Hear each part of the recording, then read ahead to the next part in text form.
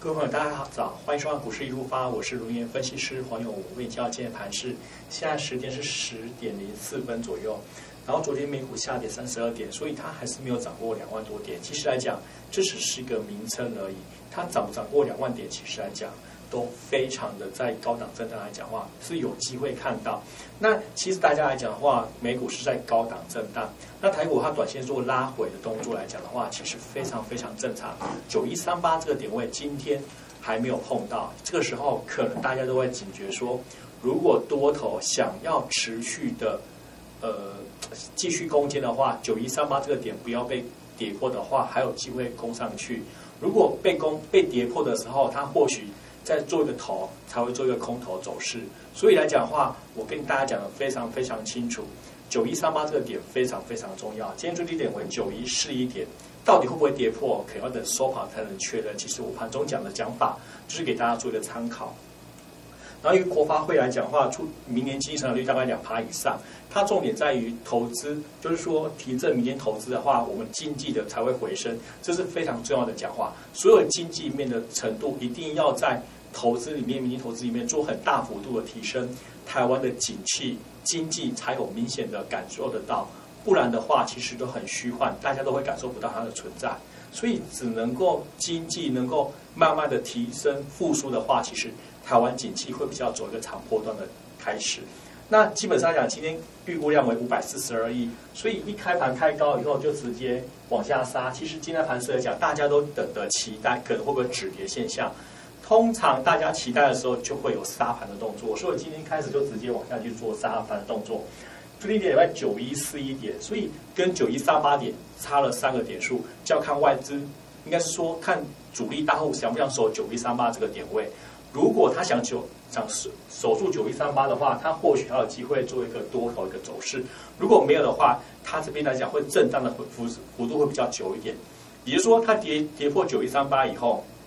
做一个头以后，再往下做一个箱型那个三角收敛的话，它才有机会再做后面区的处理。所以来讲的话，大盘你也不要看的呃太空，也不要看的太多。基本上来讲，只要谨慎的小心的操作，基本上股票。不会很困难。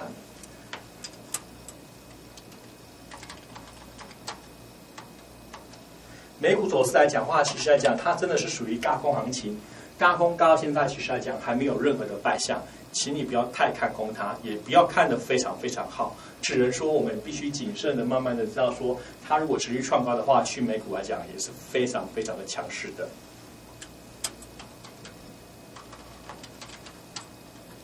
很久没讲到台积电，台积电跟大家分享一下。台积电接下来讲话，前波高点的一百九十三块钱，它边做一个呃头部以后越垫越低，表示说它有一个空头式的走势。不过基本上来讲，在一个半年线的支撑之下，打到这个底部的话，稍微注意一下，今明两天就是台积电的一个重要的参考价。只要说它这个半年线能够守住的话，它或许还有一个箱型性的大的箱型区间震荡。未来只要能够。呃，外资法人在过完年的时候，他们回来的时候，如果能够靠台积电的未来的冲刺，它或许还有冲高的机会。所以基本上来讲，台积电在这边来讲，箱型性的区间震荡，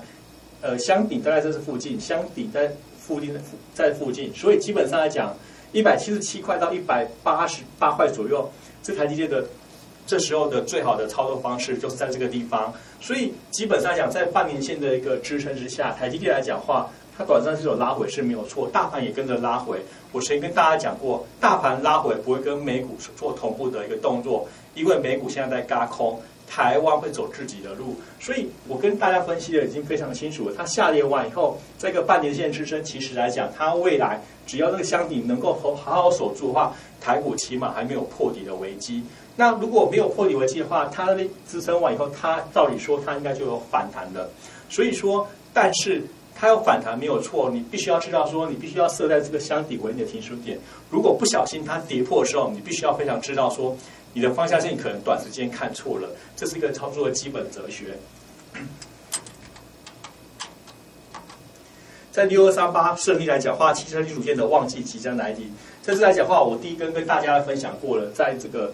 呃持续一百七十几块的时候，跟大家分享，它持续的创高，其实没有任何的原因，它就是会涨而已。涨得比较慢，而且跟大家来分享过了，它只是一个低档的一个比较股票，慢慢的往上去做上涨动作，所以会上涨股票的投资朋友不用太害怕，它本来就是会涨的，把它看成非常自然，它会涨就让你赚钱而已，就从你的股市里面把钱提出来而已。所以基本上来讲，它只要慢慢能够续涨的话，其实从一百七十几块涨到一块两百块左右来讲话，也非常容易，大概只有四天左右时间而已。所以听我节目，我就跟大家讲非常非常清楚，它在一个有打底都、打底完成以后，它后来就会有上涨坡，这就是一个股票的一个基本定义而已。其实也没有什么，因为股票很多定义来讲话，只要你搞得清楚它的方向跟未来，其实来讲做股票不难，难的是你听很多消息面，你不知所以然的话，其实你操作会有一个难度在。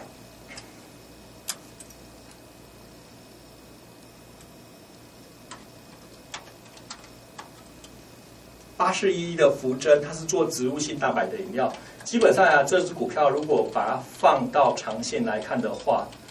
呃，它真的一个非常打底一个形态，这不用看也知道它非常非常的底部。但是来讲话，昨天那只长红棒，呃，关键性就昨天那个长红棒出现了两千六百多张以上的成交量，这长红棒非常非常重要。未来主力如果想要攻坚的话，它想要攻击的话，这个长红棒的低点不可以被跌破，也就是说，你必须要守在这个低点以上。它只要逢拉回的话，它就是你最好的买点。那我怎么这么说呢？因为它已经有点像出一个呃铁树开花往上喷的喷的股票。我跟大家讲的非常非常清楚，只要你每天收看我的节目，其实来讲的话，我跟大家的分开公开的分析。八十一福增，它就属于一个往上飘的股票，但是也是要谨设你的停损点。也就是说，这个长虹棒的低点在三十一块以上左右，这个低点千万不要被跌破，它就有机会做一个喷出的动作。我讲的非常明白了，而且没有任何的隐瞒。八十一的浮增，所以在一个低档型的股票，如果把它缩小来看的话，你一定会觉得说，它不是涨很多的股票。它真的跌得非常非常深，盘的一个大底部，从大概二零一五年的大概中旬盘到现在，那发动什么时候要发动的呢？所以它既然有讯号，我跟大家来分享。其实来讲，呃，非常自然，操作只是一个艺术而已，没有什么任何的一个想法。那操作来完以后，这个红 K 棒的低点就非常非常重要了。它既然有办法在这两根 K 棒里面做一个长红的呃大量。表示说，这是有心人是在进场的。第二波主力要攻的时候，这个红棒非常非常重要，看它有没有守住它的长红的低点，它才有机会往上去做攻，然后才有铁树开花的一个美丽的果实去给投资朋友分享。所以来讲的话，投资你也不用看了太多东西，它只是一个非常简单的艺术的操作而已。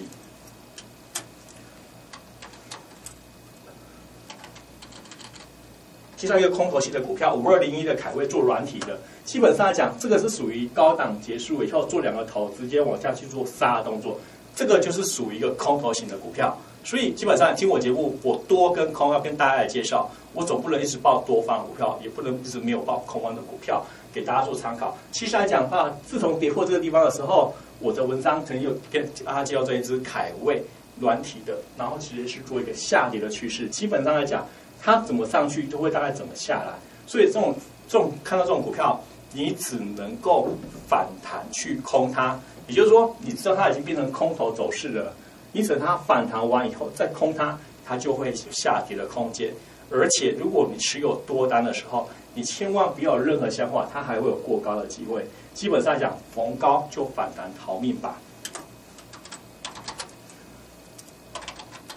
这支股票维新二三七七的维新做电竞笔电，我曾经跟大家讲过，我曾经在电视上看到说很多人在讨论这种，呃，它未来趋势会好。可是未来趋势会好的话，股票应该表现给我们看，这是我强调的重点。很多只在电视表现的如何如何好，你的股价请表请表演给我看。比如说它必须要持续的创高，可是当它涨到九十点九的时候，忽然这边就戛然而止，就没有再过高了，我就会怀疑说你是不是在出货。这是对一个股票的基本怀疑，你是不是在出货？等你发现它是不是在出货的时候，其实在下跌的时候，其实来讲跌破颈线的时候出现一个大量，其实这个来讲跳空缺口基本上不太可能再被回补了，也就是它成为一个空头走势以后，我之前跟大家来分享的，在这个箱型的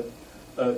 区间震荡以后，它跌破了，它就会往下去做一个下跌的动作。其实投资来讲话，你只要能清楚的，我跟你讲的方法，你注意就好好去听，其实不难。那在上涨的过程之中，这波已经涨完了，涨完了以后做两个头就直接往下去做杀，这种型的股票连反弹千万千万不要去抢。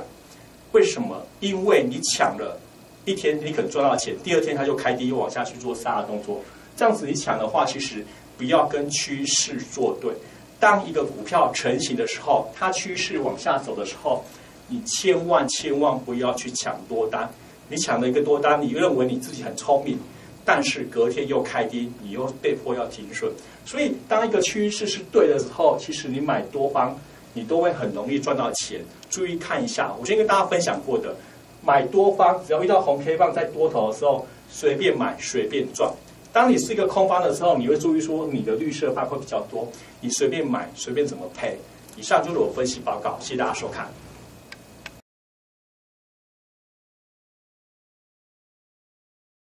本公司以往之绩效不保证未来获利，且与所推荐分析之个别有价证券无不当之财务利益关系。本节目资料仅供参考，投资人应独立判断、审慎评估并自负投资风险。